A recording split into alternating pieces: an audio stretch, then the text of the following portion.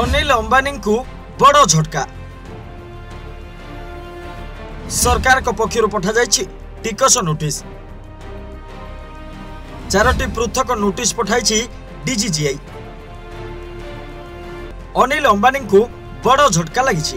ସରକାରଙ୍କ ତରଫରୁ ତାଙ୍କୁ ନଅଶହ ବାଇଶ ଦଶମିକ ପାଞ୍ଚ ଆଠ କୋଟି ଟଙ୍କାର ଟିକସ ନୋଟିସ ପଠାଯାଇଛି।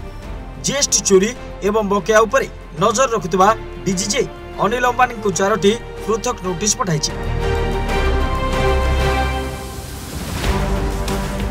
ରିଲାଏନ୍ସ କ୍ୟାପିଟାଲର ଏକ unit Reliance general insurance company ସହ ଜଡ଼ିତ କାରବାର ଉପରେ ଅନିଲଙ୍କୁ ଏହି ନୋଟିସ ଜାରି କରାଯାଇଛି।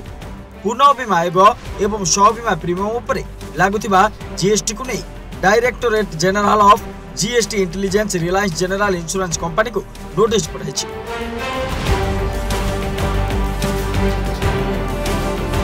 ଏହା ସହିତ ଅନିଲ ଅମ୍ବାନୀଙ୍କ ଏହି ବୀମା କମ୍ପାନୀ ଇନପୁଟ୍ ଟ୍ୟାକ୍ସ କ୍ରେଡିଟ୍ର ଲାଭ ଉଠାଇବା ସହ ପୁନଃ ବୀମା ସେବା ଇନପୋର୍ଟ କରିଥିଲା ଏବଂ ଏହା ଉପରେ ଜିଏସ୍ଟି ଦେଇନଥିଲା ଏହି କାରଣଗୁଡ଼ିକ ପାଇଁ ମଧ୍ୟ ନୋଟିସ ପଠାଯାଇଛି ରିପୋର୍ଟରୁ ଜଣାପଡ଼ିଛି ଅନିଲ ଅମ୍ବାନୀଙ୍କୁ ଚାରୋଟି ନୋଟିସ ପଠାଯାଇଛି ସେଥିରେ ଚାରିଶହ ଅଠସ୍ତରୀ ଦଶମିକ ଆଠ ଚାରି କୋଟି ଟଙ୍କା ତିନିଶହ ଅଣଷଠି ଦଶମିକ ସାତ ଶୂନ କୋଟି ଅଠସ୍ତରୀ ଦଶମିକ ଛଅ ଛଅ କୋଟି ଏବଂ ପାଞ୍ଚ ଦଶମିକ ତିନି ଆଠ କୋଟି ଟଙ୍କାର ଜିଏସ୍ଟି ବକେୟା ଦାବି କରାଯାଇଛି।